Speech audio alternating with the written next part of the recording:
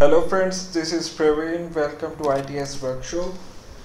In this video, we would like to talk about how to install HBase on CentOS 7 and that is in pseudo distributed mode. So in last video, we saw how to install HBase, how to configure HBase for standalone mode. But uh, uh, for the coming projects and example, we'll be seeing uh, the use cases related with uh, real cluster or pseudo distributed system. So if this is the first time we are doing this then please go back and check the previous video which will be very helpful. And there are two requirements which needs to be fulfilled if you are going to proceed with HBase installation. First requirement is installing Java and you should be having Java in your system and there should be Hadoop setup already done. So if you don't have Hadoop please go to my previous video and check how to install Hadoop on CentOS 7 or any Linux system. So we have seen standalone and now let us come to pseudo distributed mode so for pseudo distributed mode we will be using same hbase site.xml so this just there are a couple of configuration which we needs to provide. So we need to set some properties in hbase site.xml so before setting these properties I would like to request you one important thing that whenever you want to set properties you can use your normal user. In this case this is Praveen and this is P-R-A-V-E only. And for starting your services you should use root user. So that's one recommendation for me. It's not like mandatory. You can use root, uh, root user you can use your normal user any user can be used for configuration and for starting up your server or services. But there are some cases which I have encountered that uh, that root has some access like slash temp folder access. So sometimes it is required and it is helpful if we are going with default configuration. So setting up all configuration with normal user and running your services or cluster with root user. That's what I recommend. So let us proceed. We'll be setting all this configuration with normal user. Then after setup we'll start our services with root user. So before going before setting hbase site.xml let us first check this port number. So we need HDFS port number on which HDFS is running. It can be different for all machines.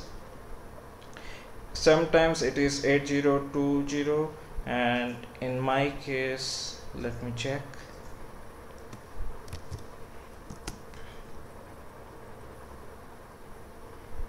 So in my case this is HDFS is running on localhost 9000 so that's the address which we need to provide in properties.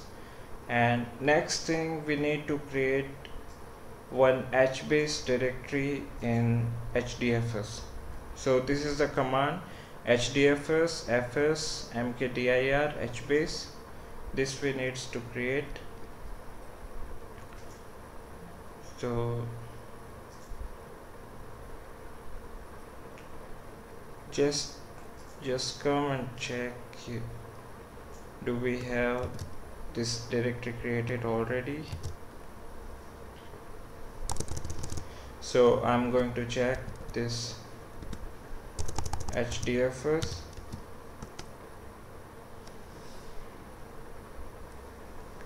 sorry it should be HDFS DFS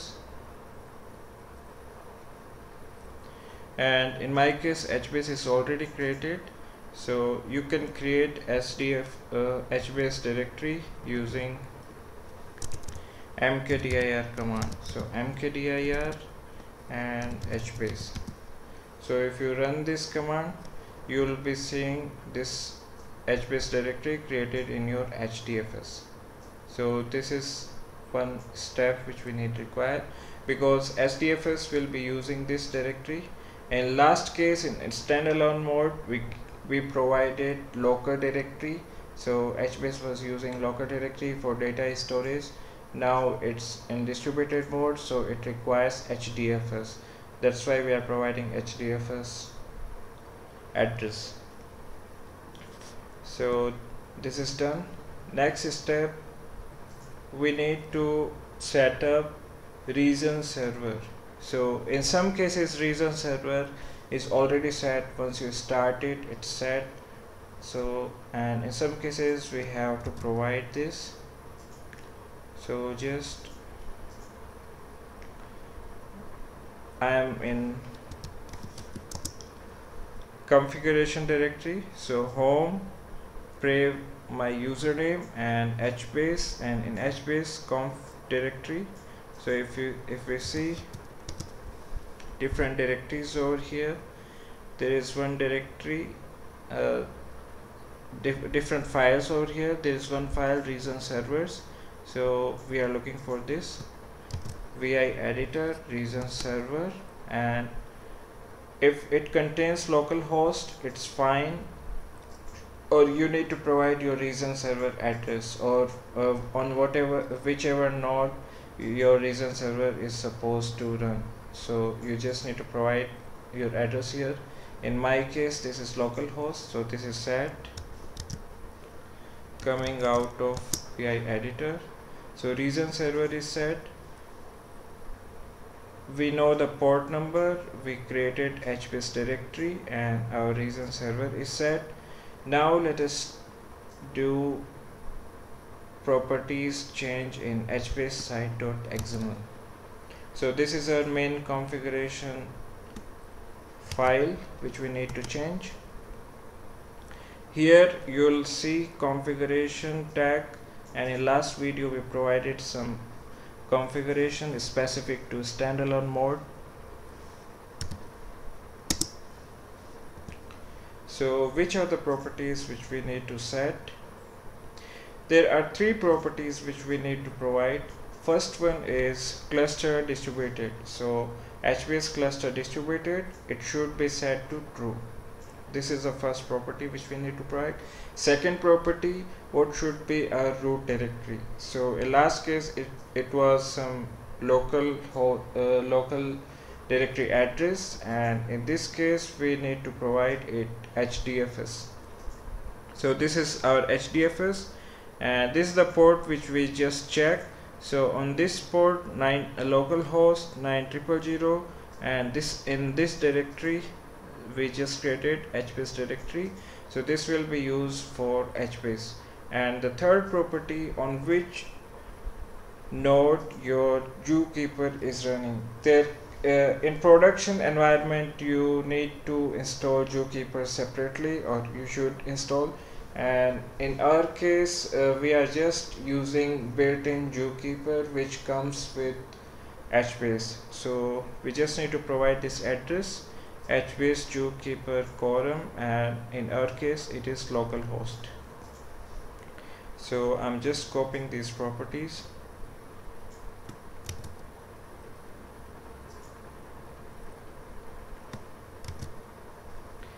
And paste it here. It's successfully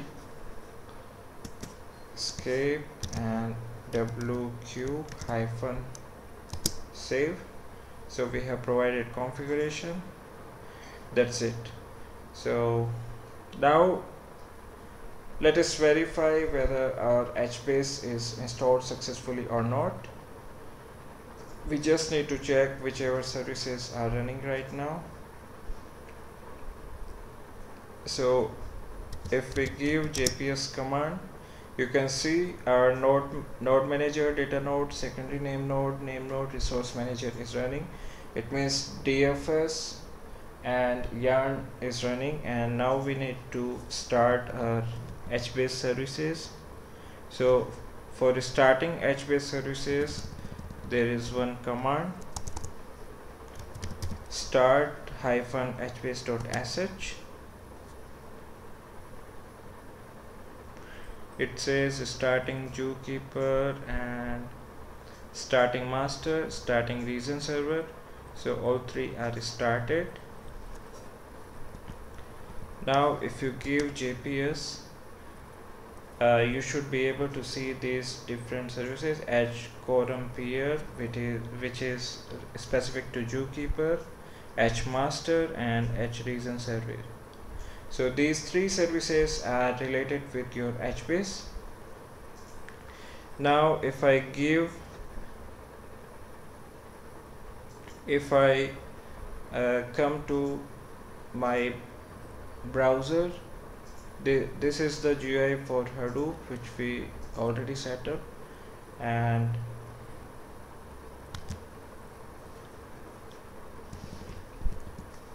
we need to provide address localhost 16010 and master status. So if you see this screen it means your HBase is successfully installed and you can see uh, the address. So this time the address is localhost and you can see table here. There are no table. These are logs for your HBase log level debug and HBase configuration you can find over here. So this is the GUI for your HBase and this HBase is in distributed mode. That information you can find here. So it is using HBase localhost. And one more thing we can do we can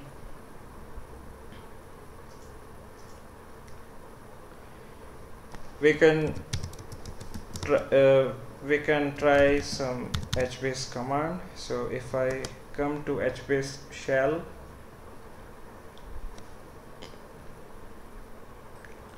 hbase space shell. So let us give some command like list is command which is used for listing all the tables so if I give list command you see there are currently no tables in it and it's successfully running. We are not getting any sort of error. So it means uh, our HBase is up and running and that is in pseudo distributed mode. So that's it for today. Thanks for watching. If you like this video please click on like button. Subscribe to our channel for more videos like this. Thank you